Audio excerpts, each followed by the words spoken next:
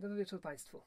Witam wszystkich Państwa bardzo serdecznie w kolejnym odcinku moich opowiadań i analiz wszystkich utworów Fryderyka Chopina. Dzisiaj mm, rozpoczynam taki tryptyk opowiadania o t- trzech e, wielkich dziełach. E, Trzech polonezach, chociaż tak naprawdę dwa z nich są polonezami, a trzeci, polonez Fantazja, e, już właściwie polonezem nie jest e, i sam Chopin nie tworzył go jako poloneza, ale o tym oczywiście opowiem, gdy przyjdzie na to czas.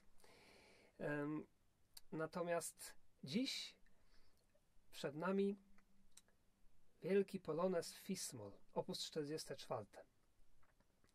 Od tego poloneza mm, rozpoczyna się tak naprawdę inny już rozdział w twórczości Fryderyka Chopina, zwłaszcza w twórczości jego polonezów, w tworzeniu polonezów. Tutaj mamy już do czynienia nie tyle z tańcem, ile z heroicznym poematem, a więc z utworem, arcydziełem muzycznym, ale tak naprawdę takim trochę literackim, bo użyłem słowa poemat i użyłem go celowo. Myślę, że było to w dużej mierze em, robione świadomie przez Chopina. E, Rok, w którym em, właściwie można powiedzieć, że Chopin zaczął pracować e, nad tym utworem. My oczywiście nigdy do końca nie wiemy. To jest takie fascynujące. Wiemy, znamy datę wydania utworu. Oczywiście zakładamy, że il, ile mogła trwać praca. Tutaj mamy rok 1841 jako rok wydania i, i, i, pracy również nad tym utworem na pewno, ponieważ Chopin e, spędził e, bardzo intensywne miesiące w Nohant właśnie w tym okresie i z pewnością dużo pracował nad tym polonezem, em, między innymi. E, Ale prawdopodobnie ten pomysł e, już się rodził wcześniej. E, Jakieś wstępne, prawda, jakieś wstępne pomysły w ogóle na, na, na to arcydzieło. To nie jest tak, że się siada i się pisze. Zresztą wiemy, że Chopin w tym czasie, swoją drogą zacytuję tutaj Georges e, bo ona pisała, jak wyglądała praca Chopina właśnie dokładnie w tym czasie, kiedy powstawał ten polonez. Proszę posłuchać. Pierwszy z listów Georges Sand. Przedwczoraj Chopin spędził cały dzień, nie odzywając się do nikogo ani słowem. Czy ktoś go rozgniewał? Czy powiedziałam coś, co go zaniepokoiło? A w liście do doktora z kolei, mm, do doktora Chopina, pisze tak: Chopin robi swoje, ale złości się na fortepian. Kiedy wierzchowiec nie spełnia jego rozkazów, wymierza mu potężne kuksańce, tak że biedny instrument aż jęczy. Usłyszymy to dzisiaj. A przy tym wydaje mu się, że próżnuje, kiedy nie ugina się pod brzemieniem pracy. Myślę, że doskonale rozumiem Chopina. E, Jeśli chodzi o to takie wyrzuty sumienia, kiedy nie uginam się pod brzemieniem pracy. Em, Chopin był w takim transie twórczym. I mnie się ten trans zdarza i doskonale to rozumiem. Wszystko, cokolwiek tylko wytrąca mnie z pracy, jest bardzo denerwujące, irytujące. Chcę się siedzieć cały czas, pracować. Teraz mam troszkę, zdarzają mi się takie transe właśnie, gdy przygotowuję ten wielki projekt, którego częścią jest właśnie ten film. Więc e, tutaj bardzo współodczuwam z Chopinem. Zanim zacznę opowiadać o tym polonezie i grać go, Państwo pozwolą mi i wybaczą taki dłuższy wywód, bo, bo przed zarówno tym polonezem, jak i kolejnym potrzebujemy uświadomić sobie i zastanowić się, pomedytować, pofilozofować, pokontemplować pewne ważne e, tematy, jako rodzaj przygotowania do głębszego odczuwania i słuchania tych arcydzieł, które są przed nami. Trzech tak naprawdę. Jak Państwo zauważyli, w tym tygodniu zdec- zdecydowałem się opublikować tylko jeden film. Zrobiłem to bardzo celowo, gdy, gdy pisałem jeszcze w grudniu plan całego tego roku. Na Poloneza Fismol poświęciłem osobny jeden weekend, na Poloneza Astur również jeden weekend, a na Poloneza Fantazję, uwaga, aż dwa weekendy. A to dlatego, że ciężar gatunkowy, ciężar emocjonalny tych utworów nie pozwala na to, abyśmy zbyt szybko przeszli do kolejnego. Takie było moje myślenie wtedy i ono się właściwie nie zmieniło. Także mam nadzieję, że Państwo to zrozumieją. Myślę, że też e, tak samo wszyscy myślicie. O czym chciałem powiedzieć i co chciałem zaznaczyć? Otóż mm, musimy uświadomić sobie, w jakim czasie Chopin pisał e, te polonezy, tego, zwłaszcza tego poloneza, i pójść w ogóle troszkę głębiej, spojrzeć na to szerzej, na rolę artysty Polaka na obczyźnie w tamtych czasach. Myślę, że Chopin bardzo dużo rozmawiał na ten temat, e, zwłaszcza z Adamem Mickiewiczem. I tutaj bardzo ciekawa rzecz. Właśnie w czasie, kiedy powstawał pierwszy pomysł tego poloneza, to był rok 1840, Adam Mickiewicz rozpoczął pracę w Paryżu na uniwersytecie, zamieszkał tam i bardzo często, oczywista rzecz, spotykał się z Chopinem. Mówiłem o tym troszeczkę w, e, podczas moich e, wykładów o Mazurkach. Właśnie Mazurki opus 41, które powstawały w tym okresie też, to właśnie mm, tam cytowałem nawet fragmenty, jak Mickiewicz przychodził do Chopina. Mickiewicz był zafascynowany Chopinem, a Chopin Mickiewiczem również. E, a więc dwie, dwie legendy, dwa, wie, dwóch wielkich Polaków, największych artystów z tamtych czasów, e, bardzo często spotykało się i cóż mogło powstać z takich spotkań? No, e, o czym rozmawiali? Ano przecież o, o ich roli, prawda? Jako co oni mają robić w takiej sytuacji. Sytuacja była strasznie trudna, bo, bo upadły wszelkie nadzieje na niepodległość, e, ale ogień musiał się tlić dalej. I Mickiewicz, który bardzo często przecież improwizował na różnych spotkaniach, Chopin to widział, był tego świadkiem. E, Mickiewicz, inspirowany muzyką Chopina, wpadał często w trans, porywał ludzi, porywał Polaków e, potrafił to zrobić nie tylko pisząc, ale również mówiąc. Niezwykła charyzmatyczna osobowość. Chopin e, zapragnął czegoś podobnego, e, znaczy poczuł na pewno bardzo głęboką misję.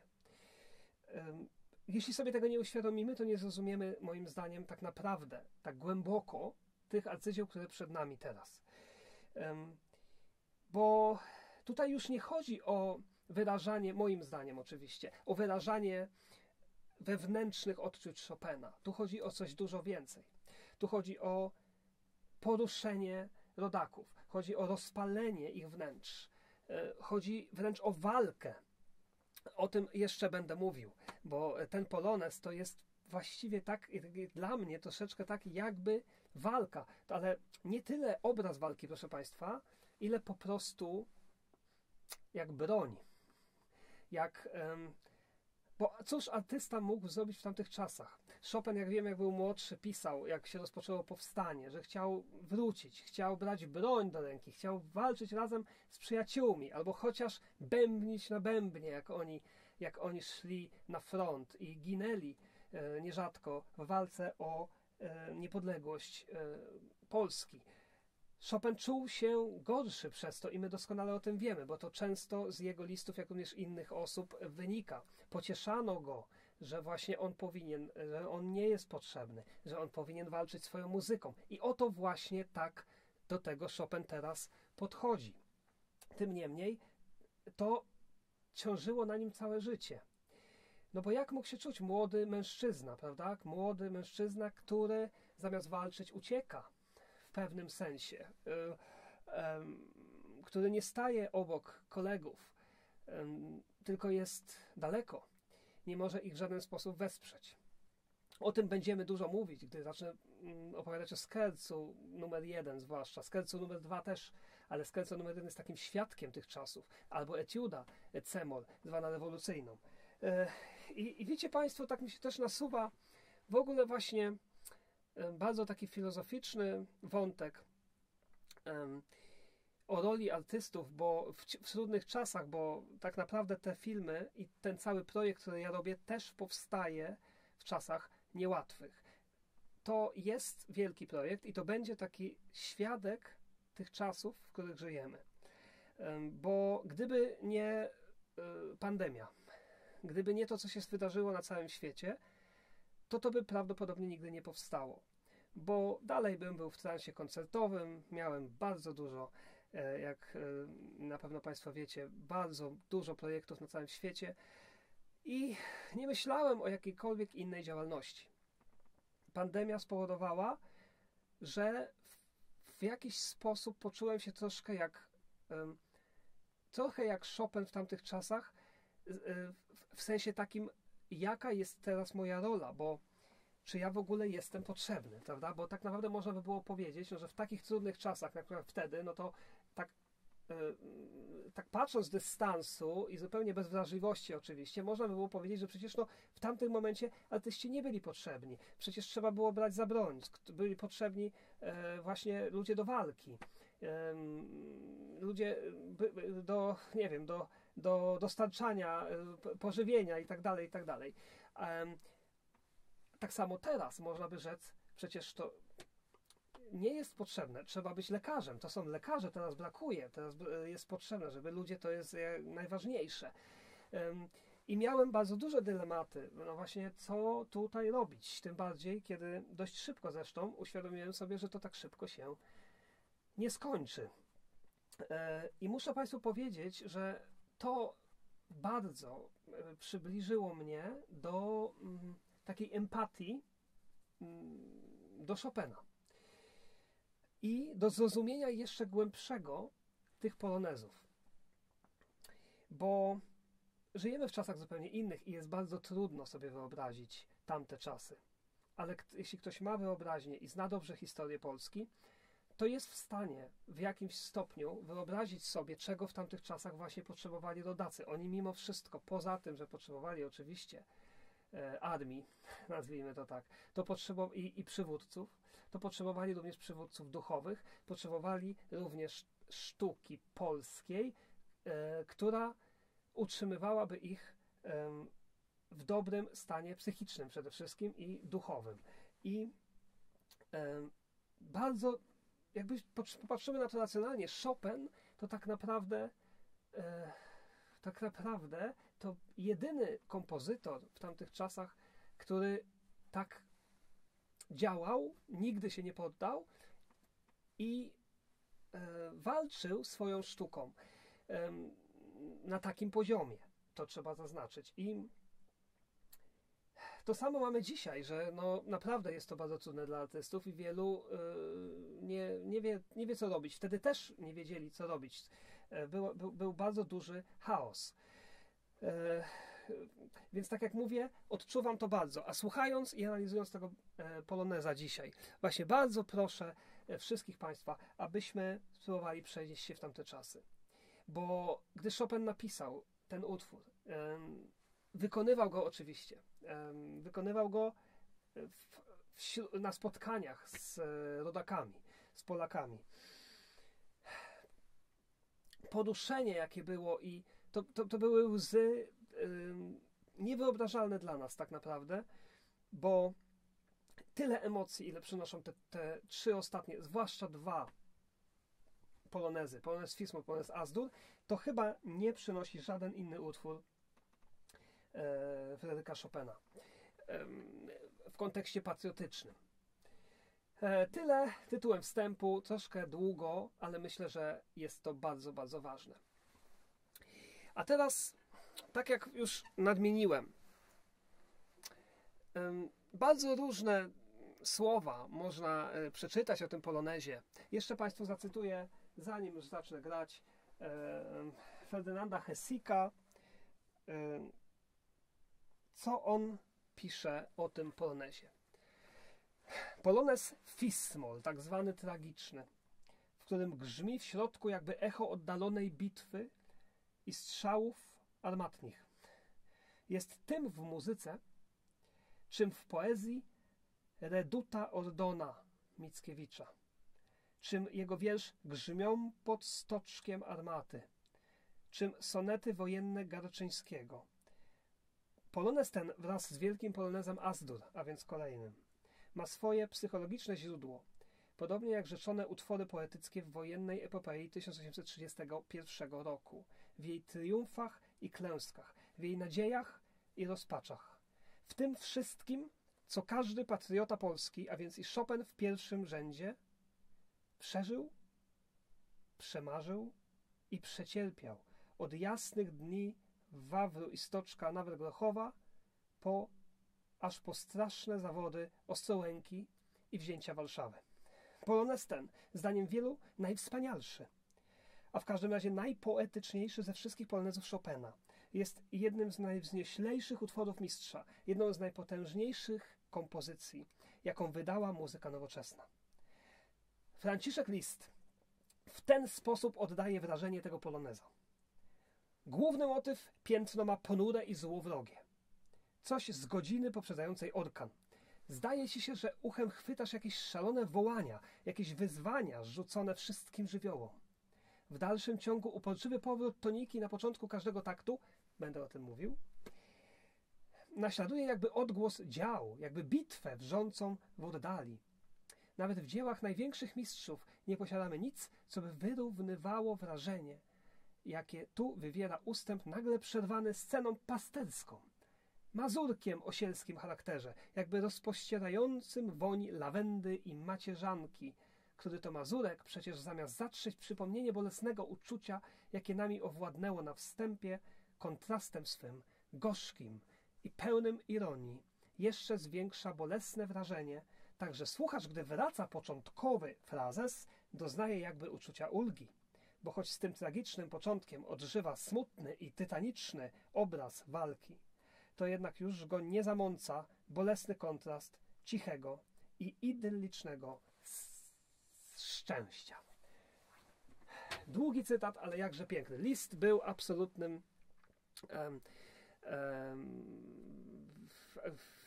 fanem Chopina kochał jego twórczość, choć zdarzały mu się słowa krytyki, o czym też będzie na pewno e, już za dwa tygodnie. Natomiast tutaj faktycznie opowiada, e, opisuje ten utwór bardzo przejmująco. Każdy ma do niego stosunek, każdy pianista ma do niego stosunek indywidualny, więc ja też mogę opowiadać subiektywnie. Zresztą wszystkie te filmy są subiektywne. Ten będzie bardzo podczas pracy nad tym utworem miałem bardzo dużo przemyśleń. Dużo różnych przemyśleń, dużo różnych e, analiz, i tak naprawdę każdy z nas może mieć swoją własną. Bo utwór jest mm, jakby takim trochę niedopowiedzianym, taką trochę jednak tajemnicą, a w każdym razie pozostawia bardzo dużo przestrzeni do, mm, do analizy do wyobrażeń. W początek cały polonez rozpoczyna się oczywiście introdukcją. Tak jak mamy już właściwie w każdym polonezie, z wyjątkiem poloneza Adut, który od razu rozpoczynał się od razu rozpoczynał się od początku polonezem. Yy, I introdukcja już na początku przynosi nam jakieś złowrogie tony.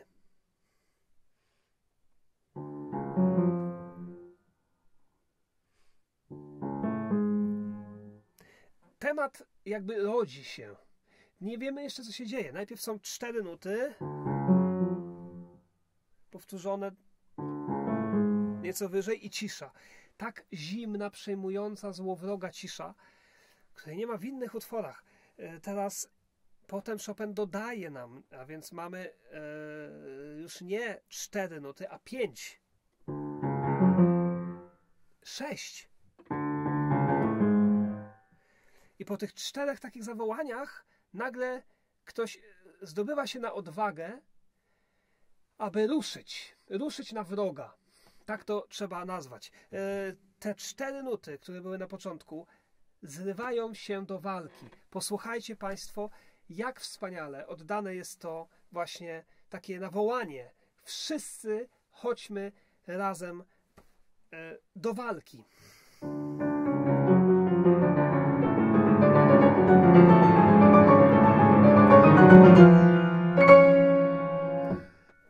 Tyle, że to, jak powiedziałem wcześniej, rodzi się temat, ale to nie jest temat. To w ogóle jest, tego, tego nie ma.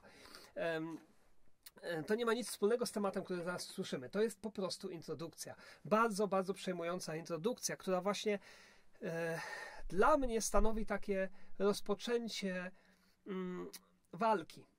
Przy czym e, chciałbym to bardzo jasno określić, że nie jest dla mnie osobiście ten polonez jakby opisem walki, e, tylko jest czymś dużo głębszym. On jest walką sam w sobie.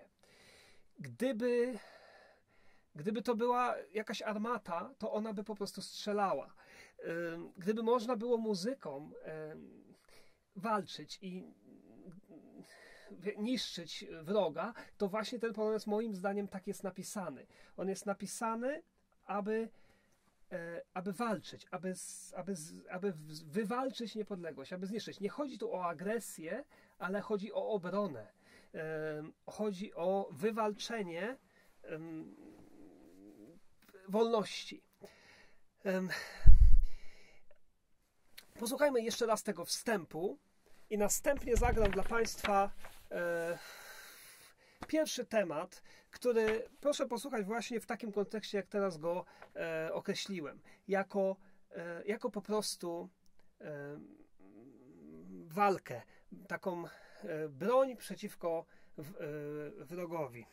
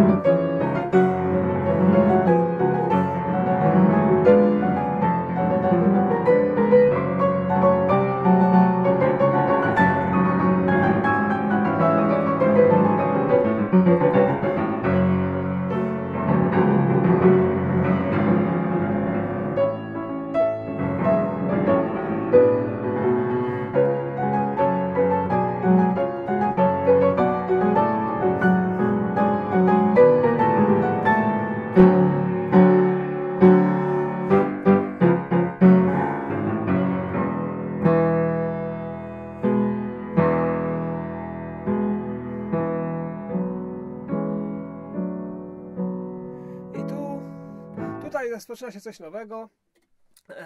o czym za chwilę. E, cóż, cały ten fragment jest w jakiś sposób jest bardzo agresywny.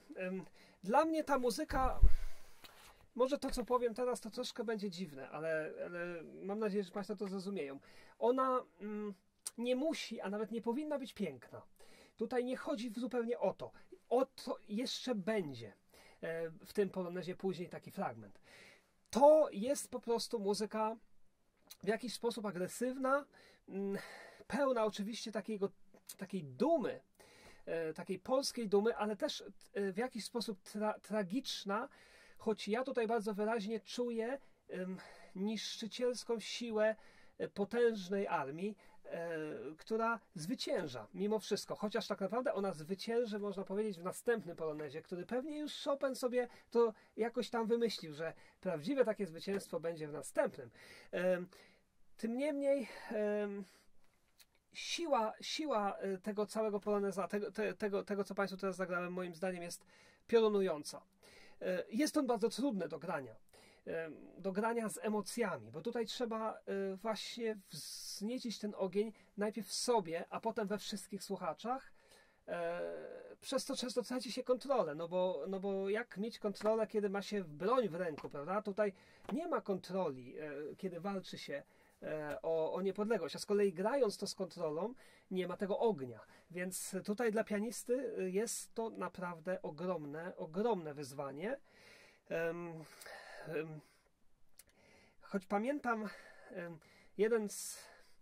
Nie, nie powiem po nazwisku, bo to, bo to nie wypada akurat tutaj, ale jeden z kilkukrotnych jurorów konkursu Chopinowskiego powiedział mi kiedyś takie słowa, że on tego poloneza nie cierpi na konkursach, zwłaszcza słuchać, bo mówi, że złe wykonania tego poloneza są tak, tak irytujące i męczące, że on tego poloneza w ogóle nie lubi, nigdy, nigdy nie, z, z nikim nie chce w ogóle robić ze studentami swoimi czy uczniami, bo mówi, że to, bo, dlaczego? Dlatego, że to się wiele razy powtarza to samo. To się powtarza bardzo, słyszeli Państwo, trzy razy ta sama melodia, on dwa razy ta druga melodia, zaraz o niej wszystkim powiemy. To się w, ciągle w kółko powtarza to samo i mówił właśnie ten juror, że jeśli ktoś tego nie gra dobrze, to jest to strasznie męczące i denerwujące. Taka ciekawostka. E, być może. Natomiast jest to też celowy zabieg. Ta melodia, ona się rozwija. Zanalizujmy ją bardzo krótko, bo to jest też ciekawe i symboliczne. Ta melodia jest skonstruowana w bardzo prosty sposób. Mianowicie mamy trzy nuty w dół i potem trzy nuty do góry. Raz, dwa, trzy. Raz, dwa, trzy. E, tutaj mm, muzycy wiedzą, że to, co schodzi w dół, jest w tonacji molowej, to, co wchodzi do góry, jest w durowej. Czy to nie jest symbol walki? Po pierwsze w dół do góry, po drugie mol, dur. Walka dur z mol, walka na dół z, z pójściem w górę, jakieś szamotanie, jakaś walka. Nie można lepiej oddać walki. Jednocześnie w lewej ręce mamy rytm poloneza.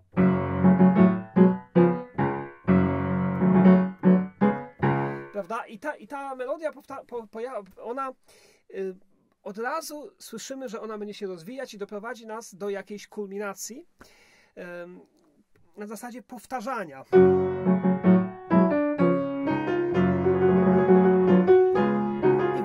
Wyżej, wznosimy się. Jeszcze.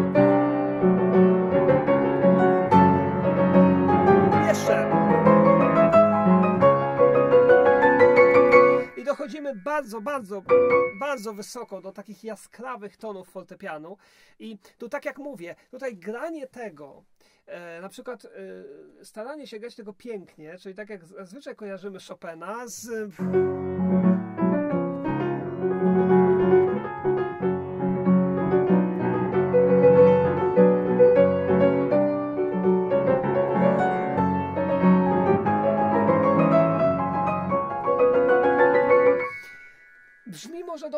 ale to jednak mm, moim zdaniem nie oddaje tego, czym ta muzyka tak naprawdę jest.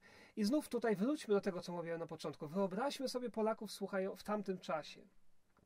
słuchających tego utworu po raz pierwszy, znających Chopina wcześniej z jego mazurków, nokturnów, walców, e, z utworów, prawda, takich, takich salonowych, e, mazurków, które nigdy czegoś takiego w mazurkach nie było, to był, proszę Państwa, wstrząs, to, był, to było, to było, nawet sobie nie wyobrażamy chyba do końca, co to było, ale były mm, tyle siły wewnętrznej, łez i wzruszeń, że no, można to chyba tylko porównać do tego, co się działo z rodakami, kiedy Mickiewicz do nich e, przemawiał, gdy był w transie, prawda? I to jest coś podobnego. Posłuchajmy jeszcze raz. Z jednej strony duma rytmu polonezowego w lewej ręce, z drugiej strony walka, niszczycielska, potężna siła, która bije z tej melodii.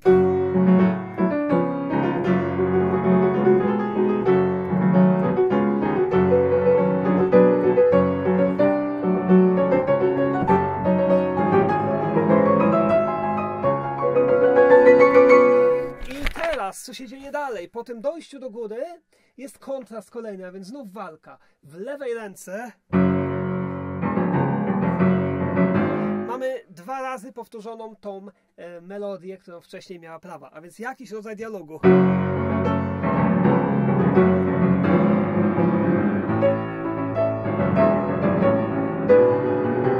bardzo ciekawe, bo jesteśmy już w dynamice głośnej, tak Chopin mówi, żeby grać, a jeszcze mamy tutaj crescendo, czyli jeszcze głośniej.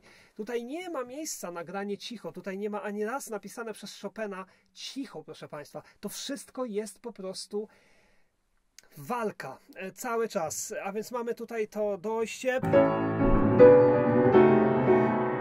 I teraz to jest taki rodzaj, to, to, co teraz słyszymy, to będzie taki rodzaj mostu łączącego ten, ten pierwszy temat z melodią e, drugą, która może jest trochę bardziej liryczna, jeśli można użyć sobie takiego stwierdzenia, ale oczywiście kontynuuje ten e, taki wojenny, e, bitewny charakter.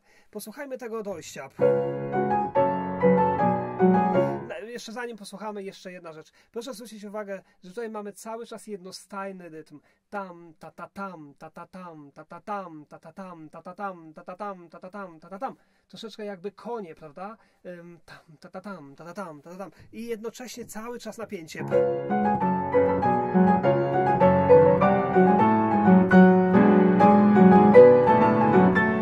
Dla mnie te, dwie, te dwa takty, które teraz zagrałem, e, potem ta ta tam, ta ta tam, ta ta tam.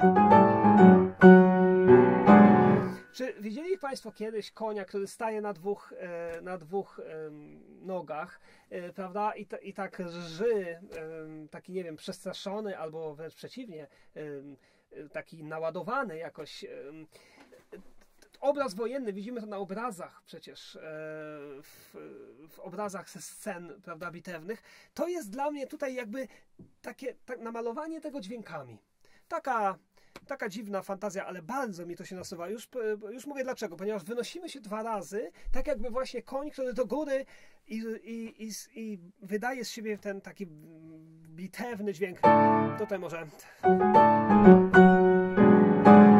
I drugi raz. Mamy takie powtarzane dźwięki.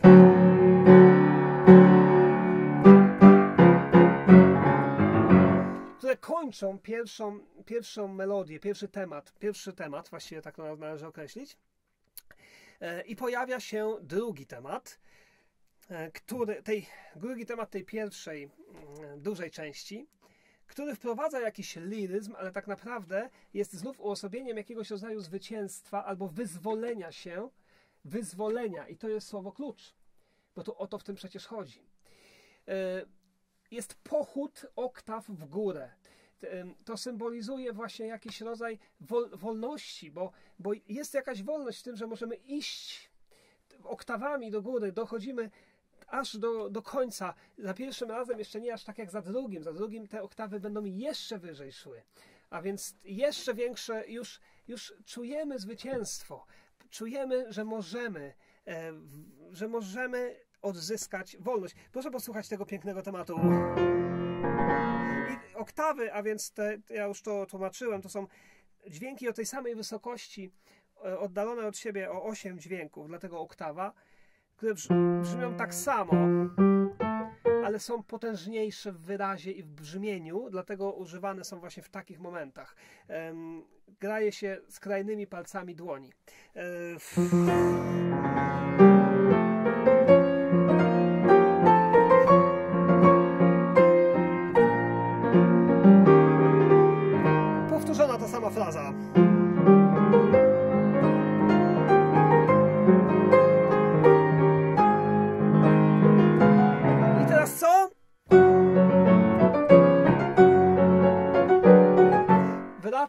Temat. Temat, który brzmi potężniej, ponieważ tutaj mamy już oktawy. Porównajmy go z pierwszym tematem. Po raz pierwszy temat pojawia się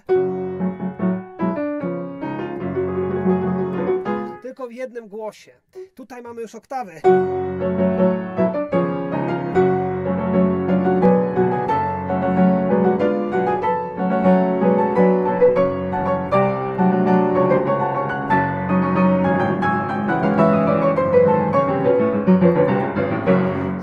Słyszą Państwo te oktawy? To jest pochód, to jest, to jest po prostu niszczenie wroga. Chopin nie pisywał w taki, w taki sposób. Jak Chopin musiał się czuć wtedy? O czym on musiał myśleć? E, e, musiał być w totalnym transie, dlatego on nie wychodził w ogóle z pokoju. On po prostu pisał, pisał, pewnie walił w fortepian jak nigdy, bo on tak nie robił. Dlatego, że już sam przerażona pisała do kogoś, co się dzieje z Chopinem. Fortepian jęczy. Fortepian, proszę posłuchać, jęczy. E,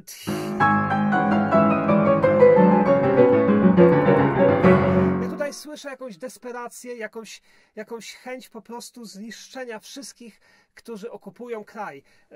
No nie da się tego inaczej opisać. I znów lewa ręka z tematem.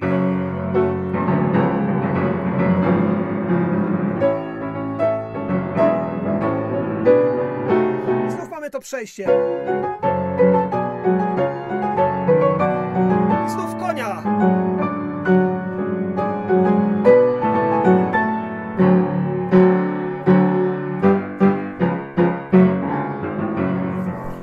Warto sobie zapamiętać te charakterystyczne takie tam, pam, pam, pam. Powtarzane dźwięki, bo po nich pojawia się zawsze ta liryczna melodia. Jak Państwo będą słuchać tego poloneza w całości, to proszę zapamiętać to i zwrócić uwagę, że po niej zawsze pojawi się ta wyzwolo- wyzwoleńcza. I teraz właśnie, za drugim razem ta wyzwoleńcza melodia, ona wyrywa się jeszcze bardziej w górę. Proszę posłuchać, bo tych oktaw jest więcej.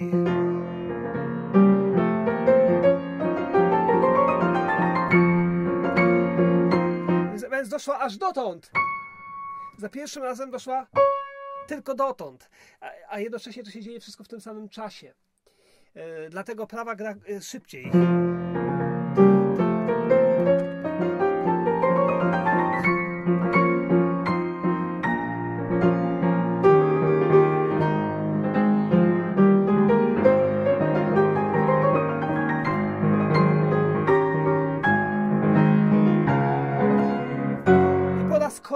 Wraca już trzeci, melodia początkowa. Tym razem jeszcze bardziej groźna poprzez to, co dzieje się w lewej ręce. E, Chopin rezygnuje z rytmu poloneza w lewej ręce, zostawia ją w prawej, w środku. Ta-ta-tam! Ta-ta-tam! Sama prawa ręka już brzmi jak polonez, a lewa z kolei, proszę Państwa, ma takie strasznie groźne szumy. Co one symbolizują?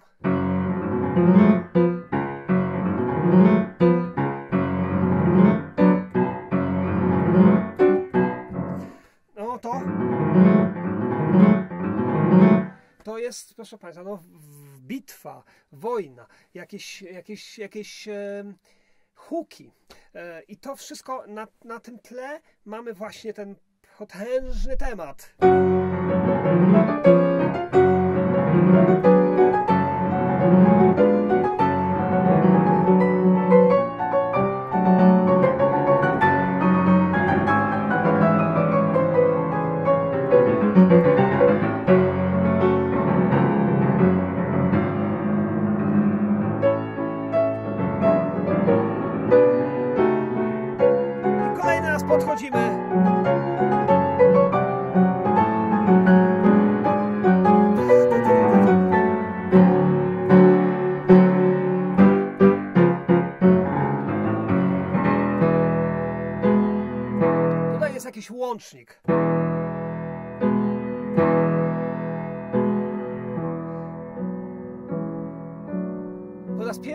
W utworze, proszę Państwa, po tak długim czasie.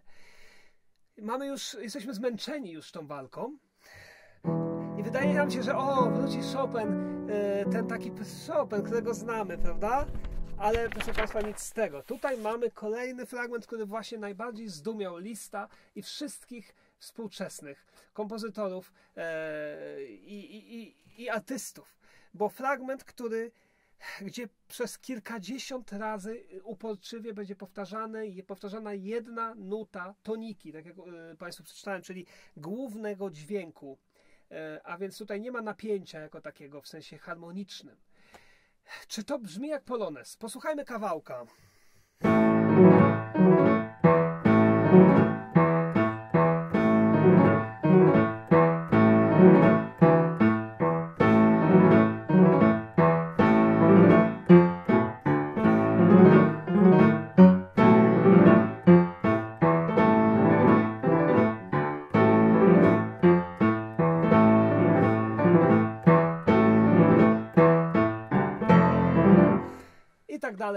To zagram jeszcze raz w całości Państwu, ale odpowiedź brzmi, no nie brzmi to jak polonez. Gdybyśmy chcieli to zatańczyć, jak jeszcze to? Dwa, trzy, raz, dwa, trzy, raz, dwa, trzy, raz, dwa, trzy. To jeszcze można tańczyć. Raz, dwa, trzy. Ale tutaj raz, dwa, trzy.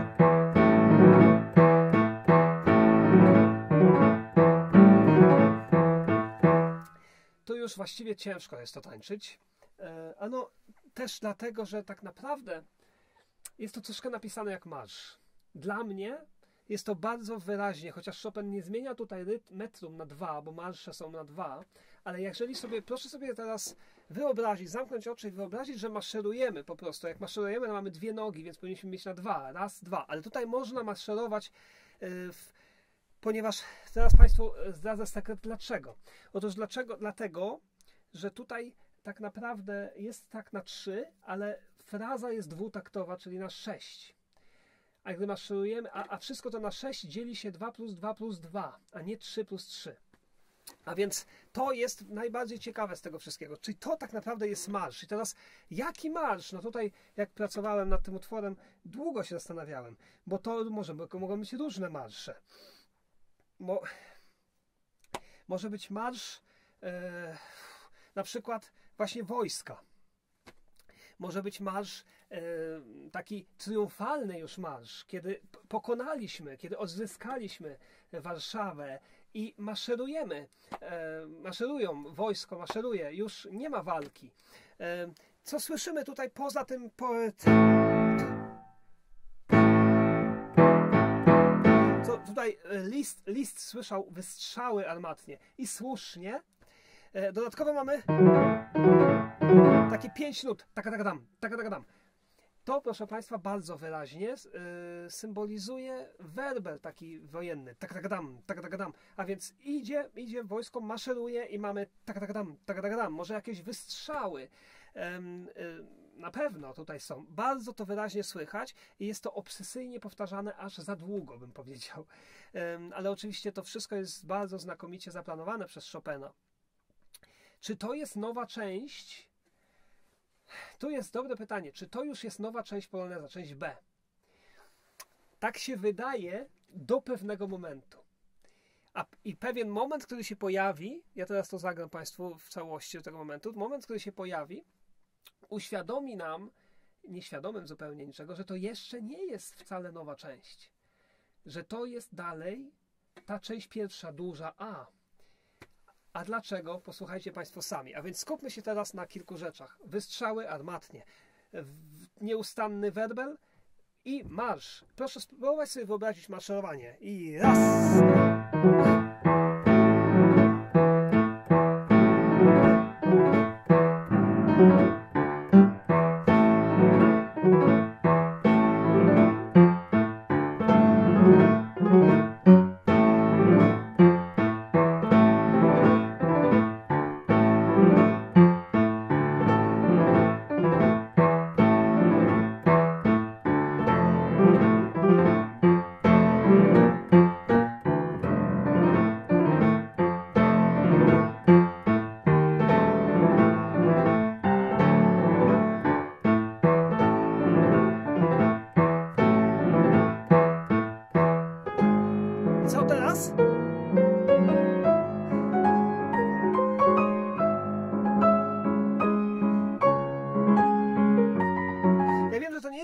łatwe pytanie, ale co to było?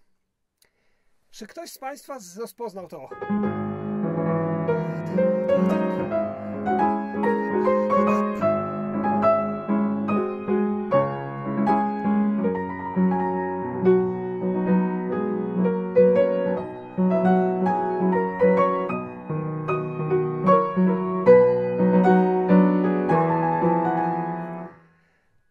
Powinno być.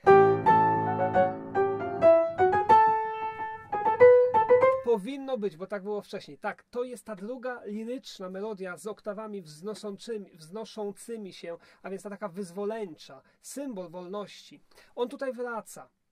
Może troszkę bardziej lirycznie, można. W nutach nie ma nic zapisane. Um, nie ma w sensie dynamicznym, Chopin nam nie mówi, jak to grać.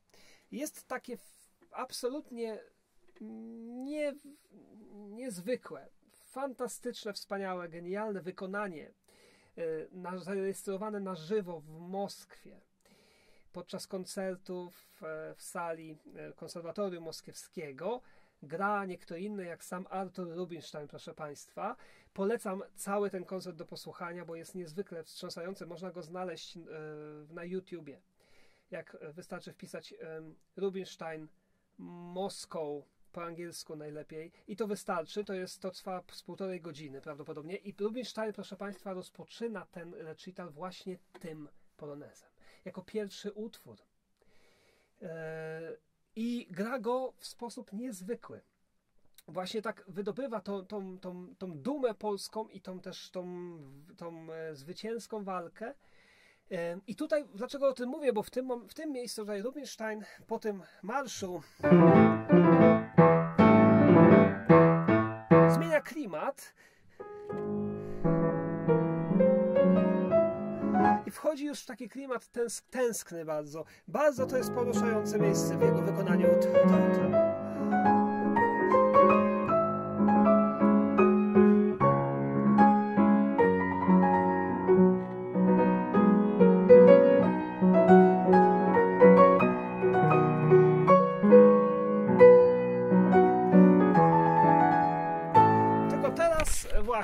Wraca ten temat początkowy, tylko wraca znów ten marsz.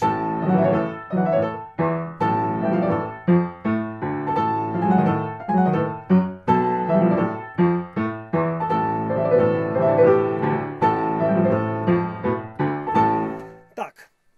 Zaraz zagram to do końca, bo tu się dzieje coś niezwykłego, ale jeszcze chciałem Państwu powiedzieć, proszę sobie wyobrazić to, bo to nie przypomina zupełnie Chopina. Gdybyśmy zagrali tylko ten fragment i zapytali, kto to napisał? Chopin by nie pojawił się w zgadywance e, raczej. To nie brzmi. I teraz znów, czy wyobra- proszę sobie wyobrazić e, Georges Sand, która słyszy za drzwiami Chopina, który to gra, który to komponuje. I w transie powtarza cały czas tą nutę. Ona myślała, że on zwariował tak naprawdę. Jestem tego przekonany. Jestem o tym przekonany. Proszę. By...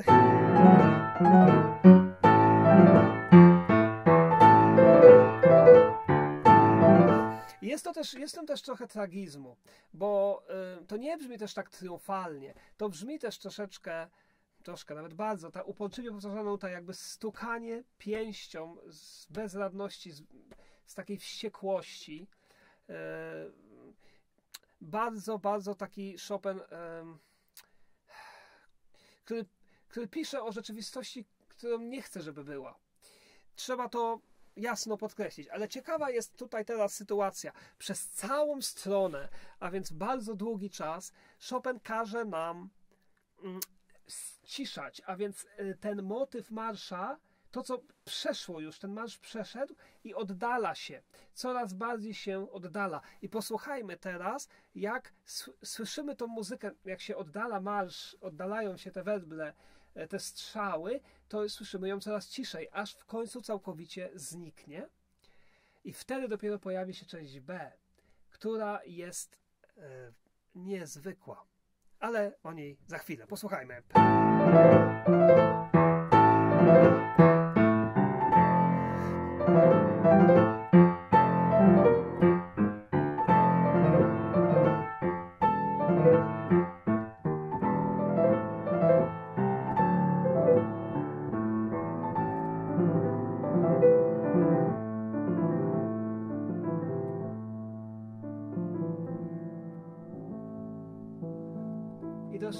Fragmentu, e, który, który jest właściwie mazurkiem. Jest po prostu mazurkiem. Mazurek w polonezie.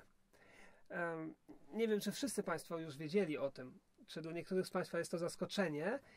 E, jeśli jest to zaskoczenie, to zazdroszczę w pewnym sensie, bo to zaskoczenie jest piękne. To jest najpiękniejsze. To jest to, co Chopin chciał uzyskać.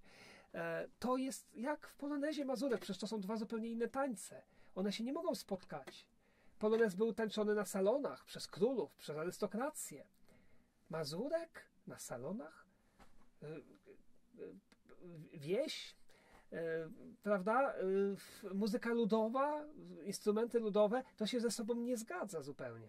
No dla Chopina nie ma problemu. To znaczy, to ma bardzo głęboki, moim zdaniem, wydźwięk. Ja tutaj bardzo wyraźnie czuję coś dużo więcej, o czym zaraz Państwu opowiem. Ale zanim to opowiem, to jeszcze zagram raz to, mm, to zejście, e, aby je jeszcze lepiej przeprowadzić. Mm, bo to nie jest takie proste przeprowadzić takie, znaczy nie, zostawić charakter marsza, e, ale ściszyć.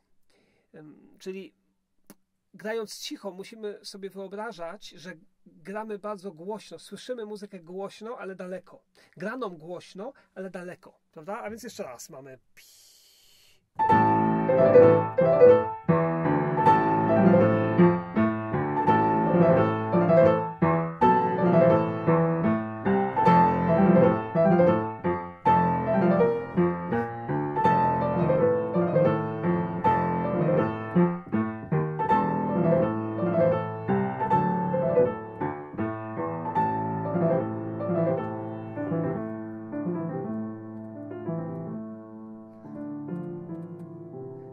Proszę Państwa, Kujawiak.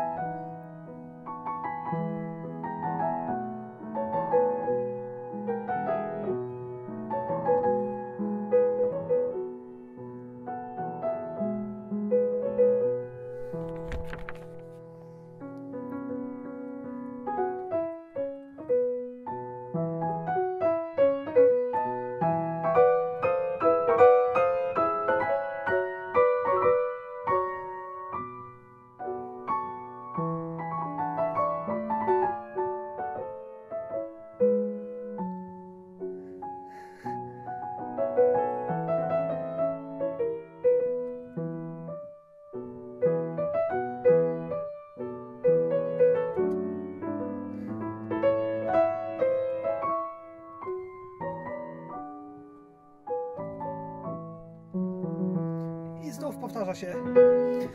Chopin powtarza tą melodię aż cztery razy, aż w czterech różnych tonacjach. Więc za każdym razem ona jest inaczej ubrana. To jest ta sama melodia, tylko inaczej ubrana. E, w inny strój. E, ma inny troszkę kolor, e, ponieważ ma inną tonację. Inną tonację to oznacza, że zaczyna się od innych dźwięków, ale melodia jako taka jest taka sama. Mm, więc porozmawiajmy troszkę o tym Mazurku. Dlaczego w ogóle Mazurek? Oto jest pytanie. E, I tutaj powiem Państwu, no, jako z racji tego, że te filmy są subiektywne, więc znów podzielę się moją osobistym, moim osobistym odczuciem. E, mam ich wiele, właśnie tak jak mówię, nie jestem tutaj jednoznaczny, znaczy nie mam jednego tylko, tylko mam bardzo dużo różnych. One ze mną, one ze mną żyją, one jeszcze ze mną gdzieś tam się kotłują we mnie. Ale to, co teraz przeważa, e, to jest takie bardzo dalekie, ale mm, mam takie jakieś odczucie, też mówiłem o tej empatii do Chopina i takie odczucie jakieś, że Chopin tutaj, jakby to powiedzieć, e, walczył już polonezem, a więc jak dostarczył rodakom tej siły, pokazał im, że możemy zwyciężyć, pokonał wroga. To ta muzyka zwyciężyła. tutaj no, nie było szans, żeby coś takiego nie wygrało. Po prostu wszystko zostało e, po, po, oczywiście za pomocą poezji czy muzyki e, zmiecione z powierzchni ziemi. E, a teraz Chopin walczy dalej, tylko że walczy właśnie mazurkiem, walczy teraz pięknem, walczy teraz pokazuje, bo to jest bardzo poetyckie, co chcę powiedzieć. Mam nadzieję, że Państwo mnie rozumieją, że pięknem też można w jakiś sposób mm, zwyciężyć. E, można e, tak zachwycić, e, że, że, że ma to tyle siły, bardzo poetycko, e, że pokonuje każdego wroga.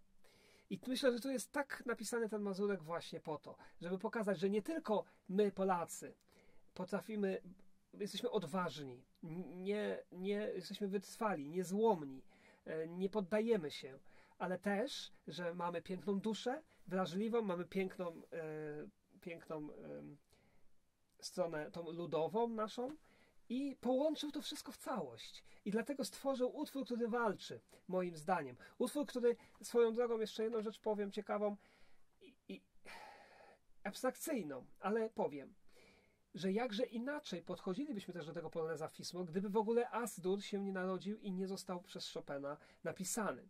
Wtedy ten Fismol przejąłby jakby jego e, rolę, rolę poloneza Asdur, no bo i Chopin napisał go jeszcze nie do końca wiedząc, że będzie pisał Asdur i że on odniesie tak wielki sukces, e, stając się polonezem nad polonezami, najwybitniejszym polonezem, jaki został napisany w ogóle e, przez kogokolwiek. Gdyby nie było Azdur, to ten by przejął jego rolę, a więc to to by był e, jakby utwór, który miałby zagrzewać do walki i dawać, dostarczać e, Polakom odwagi. On taki jest, ale właśnie ten Mazurek też e, to powoduje. No inna, inna wersja, która gdzieś tam, mam tu na myśli motywację Chopina, dlaczego napisał Mazurka e, w Polonezie, jest taka, że e, no, chciał jeszcze bardziej poruszyć polskie serca i postanowił e, zrobić to za pomocą e, pięknego Mazurka. Nikt się nie spodziewał w tamtych czasach Polonezie, w środku Poloneza Mazurka. Więc e, no wszyscy płakali na pewno. To było tak poruszające, musiało być tak poruszające, bo Polacy przecież przypominali sobie tą muzykę, którą tańczyli, słuchali na wsiach. Oj, bardzo to musiało być poruszające. Jeszcze inna interpretacja, która też może być, jest taka, że tutaj Chopin w jakiś sposób albo przypomina sobie te czasy, e, tęskni za czymś. Proszę też e, bardzo ważną rzecz mm, sobie uświadomić, że w tym roku, w którym Polonez został e, wydany, napisany i wydany, Maria Wodzińska wzięła ślub. A więc Chopina serce było całkowicie złamane. To był koniec jego marzeń, już całkowity, E, o, o jakiejś rodzinie, choć to wcześniej oczywiście już właściwie stracił szansę, ale było to jednak taką kropką nad i. Dla niego bardzo, bardzo trudne. Tutaj mamy Mazurka, ale cały czas jest on w tercjach lub w sekstach, a więc mamy cały czas dwie osoby, dwie osoby, a więc to jest jakiś rodzaj dialogu. E, I może, a może to jest wspomnienie, a może to jest marzenie, a może to jest wyobrażanie sobie, że jak już z, jest wolna Polska, to właśnie jest Kujawiak. Tylko dlaczego Kujawiak, prawda? Dlaczego nie Mazur? A dlatego, że Mazur jest podobny do Poloneza, jeśli chodzi o charakter. A tutaj chodzi też o to, żeby uspokoić wszystko. Yy, więc list, jak Państwu czytałem na początku tego roku, doszukał się w tym, w tym Mazurku ironii. Ja tej ironii nie słyszę, ale każdy ma prawo do słyszenia czego innego. Zresztą, gdzie ja do lista? Tak więc, yy, tak czy inaczej, ja to słyszę właśnie jakiś dialog. Cały czas proszę posłuchać prawej ręki. Mamy dwie osoby. Ja zagram je teraz osobno, żebyśmy usłyszeli.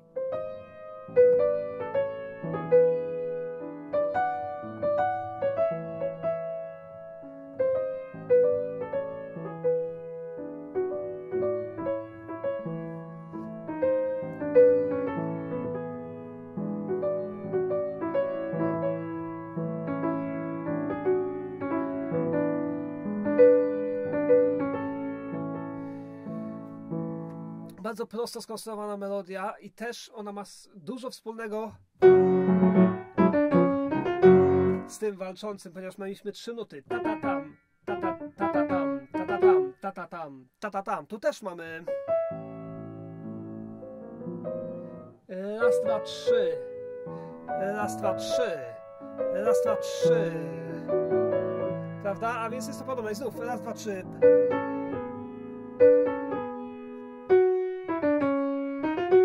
Jest to ten sam motyw. E, Nieprzypadkowo.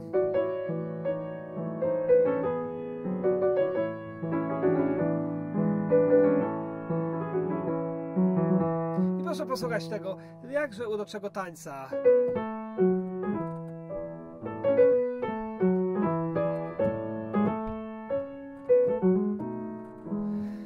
Tutaj to, to y, jest najtrudniejsze do interpretacji dla pianisty.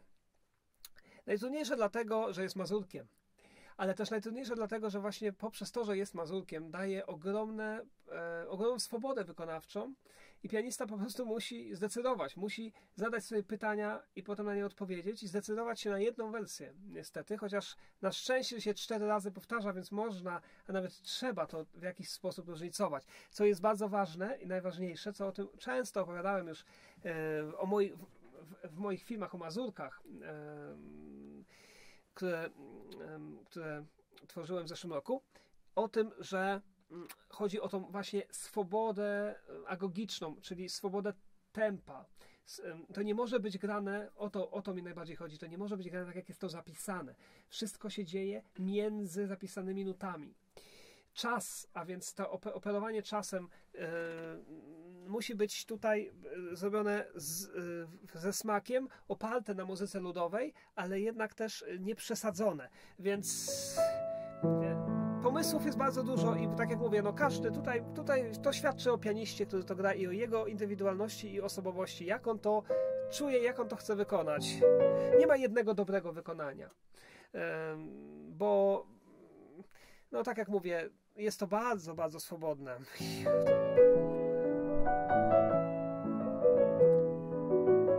Zależy o czym chcemy mówić.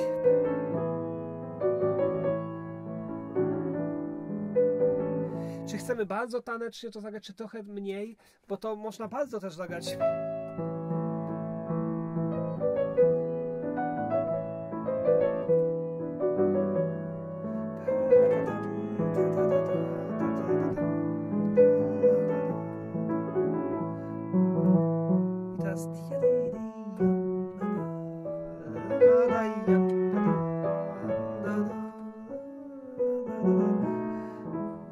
to jest tak napisane, że właśnie daje swobodę, wolność daje.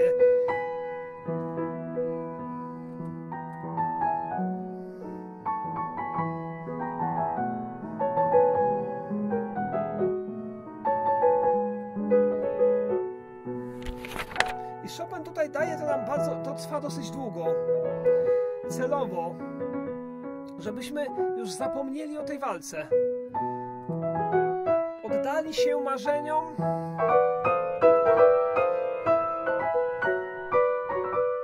Marzeniom o wolnej Polsce. I teraz mamy przepiękną melodię drugą, a więc część B. Proszę posłuchać, też w tercjach cały czas. Rodzaj takiego wręcz, wręcz miłosnego jakiegoś, jakiejś sceny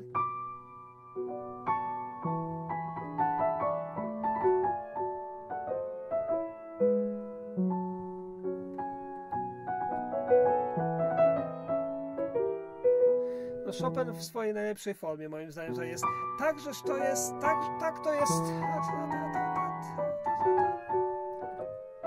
urocze.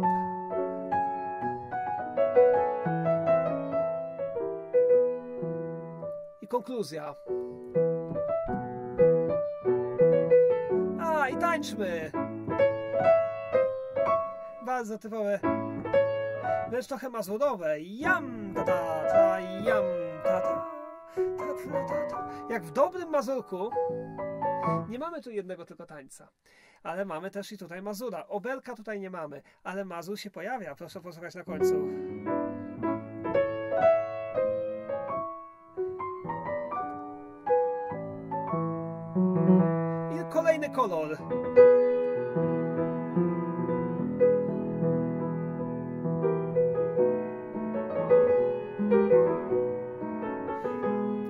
Więc Chopin maluje kilka scen, nie tylko jedną, nie tylko jedną osobę, ale kilka różnych scen e, w wolnej Polsce, e, czy w marzeniach, czy we wspomnieniach.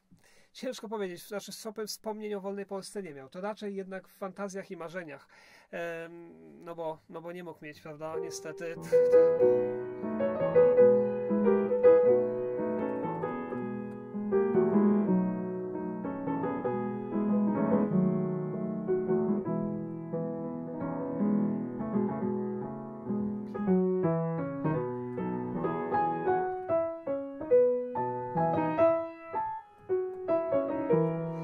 Wszystko tutaj mamy z Mazurków. Na przykład tutaj e, taki dialog, proszę posłuchać. E, kobiety, e, przepraszam, mężczyźni. I tutaj grają, gra zespół Padam, a więc proszę posłuchać. I kobiety odpowiadają.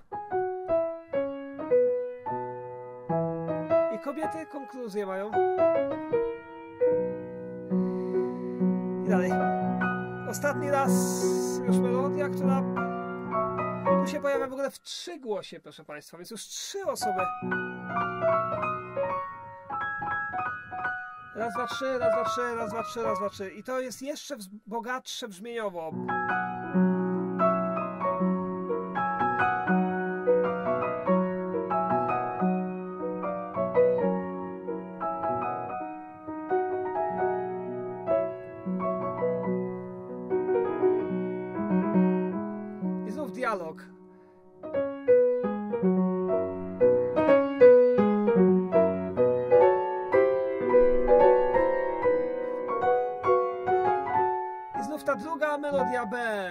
W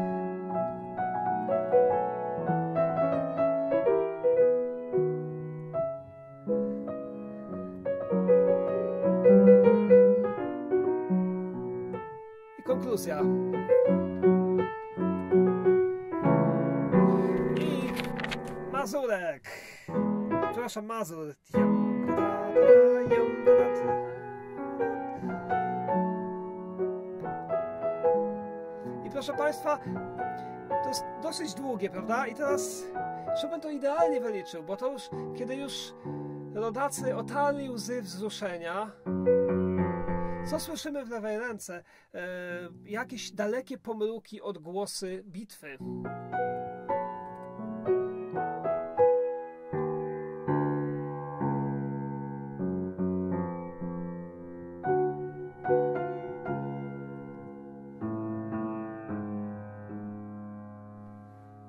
Teraz, kiedy już wszyscy otarli łzy wzruszenia i już oddają się temu Mazur Mazurkowi z rozkoszą, nagle, proszę Państwa, słyszą coś takiego.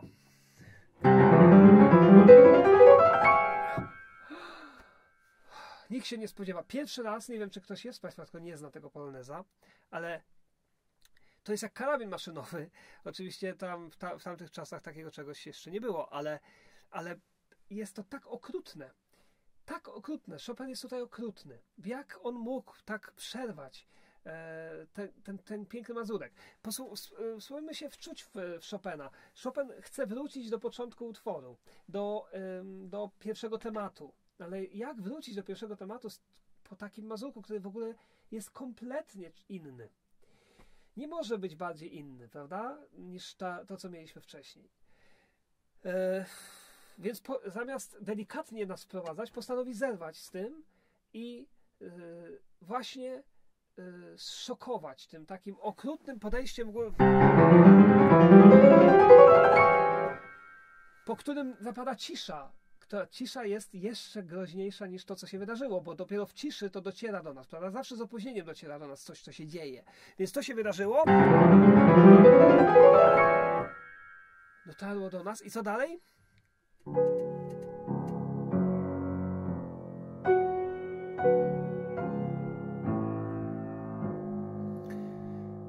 I drugi raz, niestety.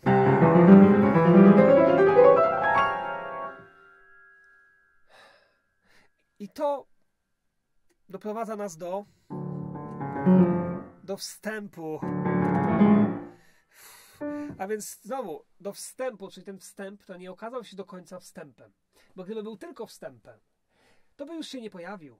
A więc on też ma treść. I to jest to, o czym mówiłem na początku. Ta treść wstępu jest właśnie taka, że wszyscy razem e, do walki.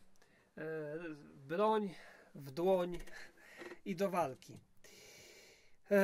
Ten wstęp, i teraz od tego wstępu wraca część A, i ona się w ogóle nie zmienia.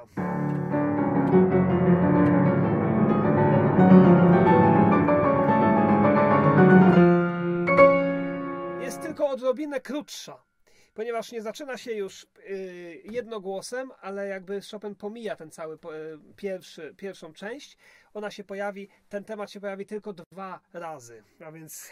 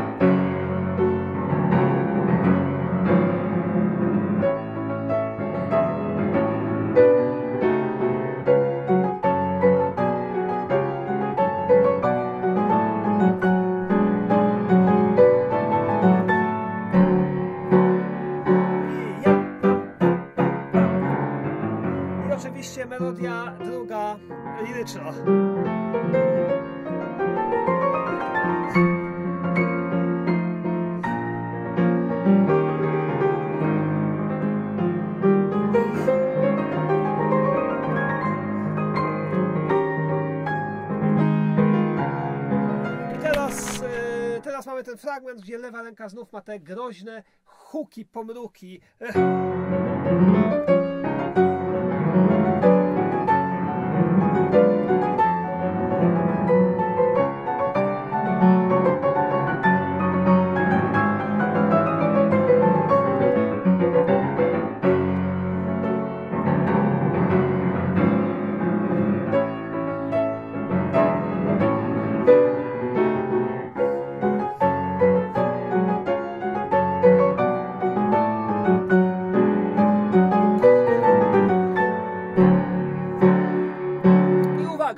Zawsze do tej pory tutaj mieliśmy to właśnie melodię, melodię liryczną. A teraz Chopin postanawia z tych właśnie pam, pam, pam, takich wystrzałów e, zrobić przejście do końca. Zakończenie, proszę Państwa, jest jak, prawdziwy, jak na prawdziwy choreiczny poemat przystało. Jest e, takim, e, taką konkluzją.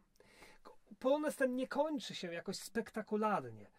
Chopin rezygnuje bardzo świadomie z takiego spektakularnego zakończenia, które spowodowałoby jakieś wybuchy euforii, takiej jak mamy w Polonezie Azdur, e, ponieważ tutaj e, jest to dużo bardziej dojrzałe, moim zdaniem, z punktu widzenia kompozytora e, Chopina, który w tym zakończeniu tak naprawdę daje nam odpowiedź na to wszystko, co się wydarzyło. Podsumowuje to wprowadzi nam jeszcze na koniec uporczywie powtarzany ten pierwszy temat w basie, e, który e, w jakiś sposób zakończy swoje życie, ponieważ on będzie się powtarzał, powtarzał, powtarzał, potem tylko dwie nuty, dwie nuty, dwie nuty i na zakończenie tylko jedna głośna, nawet nie akord, proszę Państwa, tylko, poje, tylko jedna nuta. Grana w oktawach, a więc właściwie cztery nuty, ale to jest jedna ta sama nuta. Również bardzo, bardzo jest to symboliczne, że nie kończy się ten e, polonez takim, takim e, wybuchem. Hmm, tak naprawdę. Posłuchajmy tego.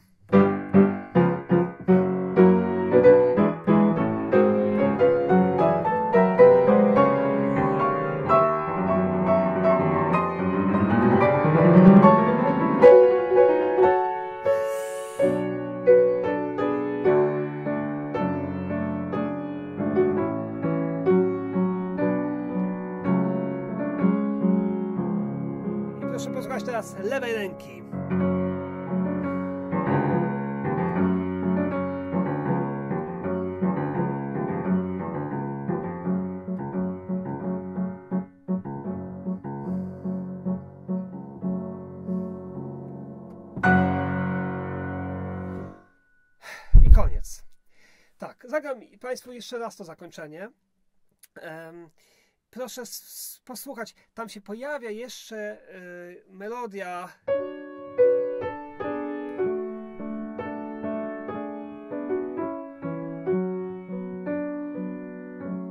Bardzo piękna. Jakieś echa tego mazurka, prawda? E, a więc to się jakoś jednoczy wszystko razem. Ta pierwsza część z tą drugą środkową częścią. E,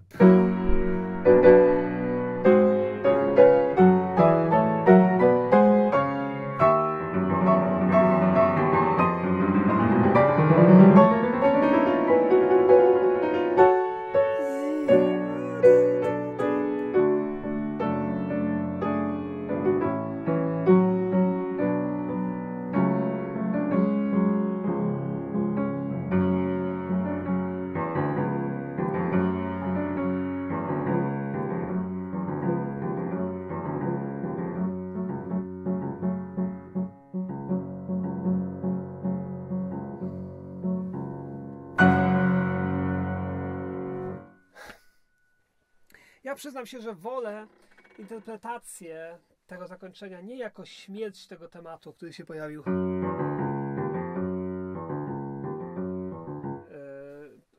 Tylko bardziej jako mm, interpretację taką, że jest to ten temat waleczny, waleczny, który już nie potrzebuje walczyć, bo już pokonał wroga, pokonał wszystkich. I może zasłużenie odpocząć. Koniec wojny, koniec. I w następnym właśnie polonezie w pewien sposób będzie, będzie kontynuacja. Ja go bardzo nazywam się taką kontynuacją. Myślę, że świetnie brzmią te dwa polonezy, e, zabrzmiałyby grane jeden po drugim. E, I wprawdzie nigdy tego jeszcze nie robiłem, bo też nigdy jeszcze tego poloneza Fismol e, nie grałem publicznie, ale wszystko przede mną i myślę, że skonstruuję taki program, gdzie właśnie te dwa polonezy zestawię jeden obok drugiego opowiem taką historię e, walki i zwycięstwa, spełnienia marzeń Chopina i jemu współczesnych. Bardzo serdecznie dziękuję za uwagę, za dzisiejszy e, odcinek pełen emocji, e, rozbudowany i zapraszam już na kolejny o właśnie o Polonezie Asdur op. 53. Dziękuję bardzo.